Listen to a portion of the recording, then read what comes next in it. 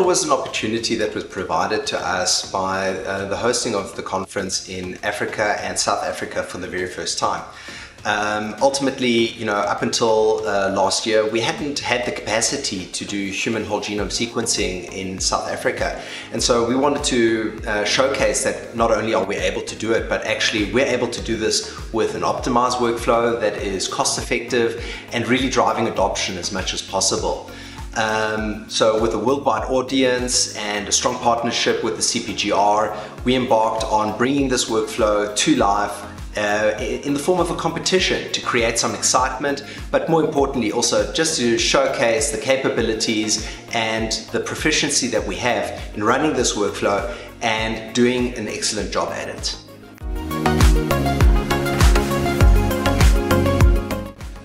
Since we started our partnership with Illumina in 2020, it has been our ambition to get into whole human genome sequencing because it unlocks the potential of the human genome in terms of preventative medicine, personalized medicine, and ultimately reducing the cost of uh, the burden of disease.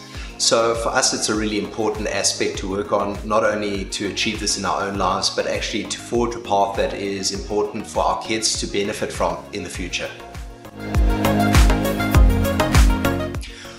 Okay, well, you know, um, this goes back about two years to the general sales meeting from Illumina, and I was inspired by Francis de Souza speaking about us bringing and enabling uh, genomics uh, from a single drop of blood. So we were determined to actually bring that vision to life. Uh, ultimately, human whole genome sequencing normally relies on uh, blood sampling of five mils of blood with the help of nurses. And what we feel is like we want to bring an added value into this workflow. We want to really literally sample a drop of blood and sequence from that. So what we did is, uh, with the help of our suppliers, um, we, we brought this workflow into one coherent, um, from beginning end-to-end -end solution. So ultimately what we did is we're sampling off a Neoteryx uh, sampling device, which is basically a finger prick this starts to enable at-home sampling uh, in a geography like Africa where you've got um, huge distances to cap cover, um, the challenge with cold chain storage and all of these other aspects. We felt that, you know, finger prick, room temperature uh, sampling and shipment is the way to go. So that's what we did. We did a finger prick, we sampled with the Mitra devices, 30 microliters, two samples per patient, um, done in a matter of seconds, and then basically sealed into an envelope and ready to ship to the lab.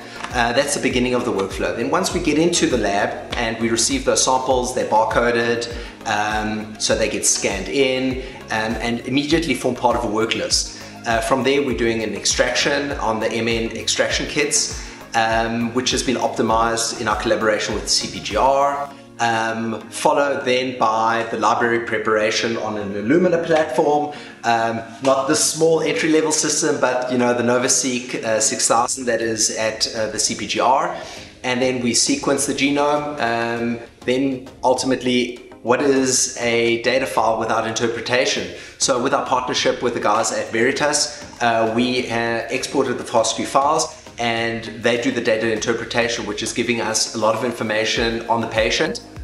Um, in the, the form of um, disease states that are present or even future predicted, uh, phenotypic traits, um, pharmacogenomic data, um, so which medicines do you respond to, which medicines don't you respond to, and the understanding as to why. And so yeah, this whole end-to-end -end solution that can also be automated in Hamilton Robotics is ultimately a game changer for us. This will allow us to put in a population genomics program that is streamlined, cost effective, and ultimately driving uh, innovation forward in uh, our country.